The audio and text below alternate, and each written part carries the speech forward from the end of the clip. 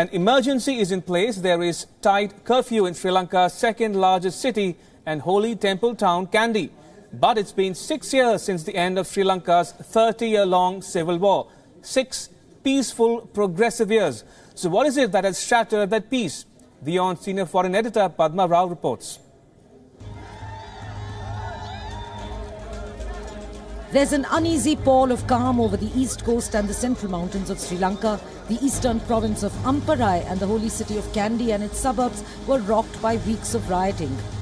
Sinhalese majority mobs have reportedly attacked Muslims and shops owned by members of Sri Lanka's second largest minority. One person was killed and two hospitalized. 81 people, including the main suspect, one Amit Jeevan Veerasinghe, have been arrested. Still, most of the international media, especially Middle Eastern concerns, are painting exaggerated pictures of bloodthirsty Sinhalese and victimized Muslims. But we at WION have been talking to Sri Lankan analysts of all religions, and what we're discovering paints a slightly different picture.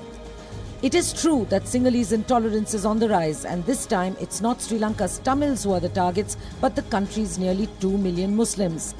There can be no justification for violence, of course. But one must examine the root cause of the distrust of Muslims in Sri Lanka that has been growing since 2009. And that root cause lies in the alarming spread of Wahhabism among one of the most tolerant and peaceful Muslim communities in the world, that of Sri Lanka. It's no secret anymore that Sri Lanka's close neighbor, the Maldives, is already in the throes of Saudi Arabia's wealth and radical indoctrination, reportedly with the blessings of the Maldives' dictatorial president. Saudi Arabia has reportedly trained and been dispatching English speaking Wahhabi speakers around the world. And which region could be more attractive than South Asia, where there are already huge Muslim communities? Some of the controversial speakers trained and dispatched by Saudi Arabia reportedly include Ismail Menk, Zakir Naik, and Tariq Jamil. Menk has been banned from the United Kingdom and Singapore, while Zakir Naik is on India's most wanted list.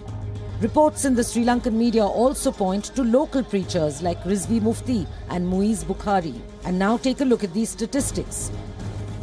There are a total of 749 madrasas in Sri Lanka and one Islamic university. There are at least 10 major mosques in the island nation and dozens of smaller ones.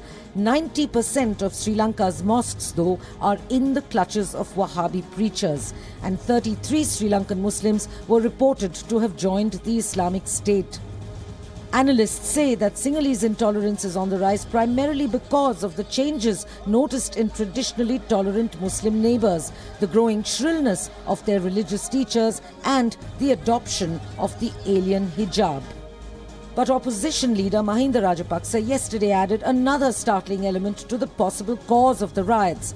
In an article he contributed to a Lankan daily, he points to foreign elements hell bent on tearing Sri Lanka asunder. A phenomenon that no country knows better than the one located at crucial oil tanker shipping lanes right in the middle of the Indian Ocean, the small nation of Sri Lanka. Padma Rao, WION. And Padma Rao joins me live from the WION newsroom now. Good evening, Padma. After years of uh, Tamil extremism, are we now looking at the rise of Islamic radicalism in Sri Lanka? Well, I wouldn't go as far as to, uh, you know, put it on the same scale as uh, uh the LTTE-led uh, uh, form of terrorism among the Tamils.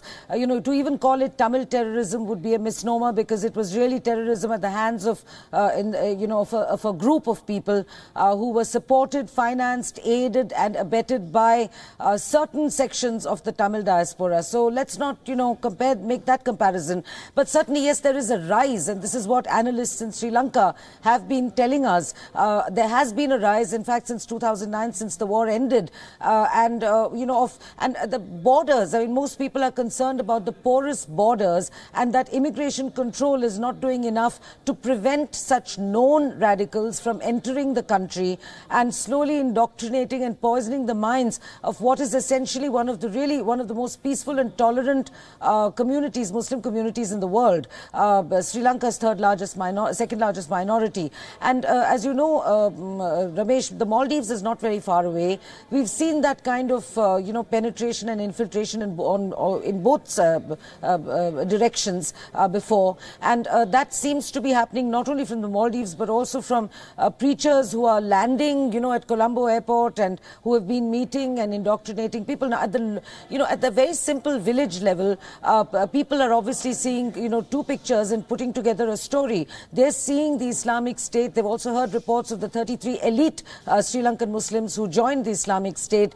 Uh, and these are simple people in small villages who are, uh, you know, afraid when they see visible signs uh, like Srila uh, preachers in mosques or, uh, you know, more and more women covering themselves in hijab, which is not typical to this area, region of the world, as you know. And these are alien influences. And, you know, whenever there is an alien influence, people tend to get paranoid. However, having said that, I'd like to emphasize again that in absolutely no way does WION support any violence by any community against any community, be they minority or majority. Uh, but unfortunately, we have to look at the root cause uh, also and not just, uh, you know, uh, tarnish all Sinhalese or all Muslims with the same brush as certain sections of the international media have been doing over the last one week.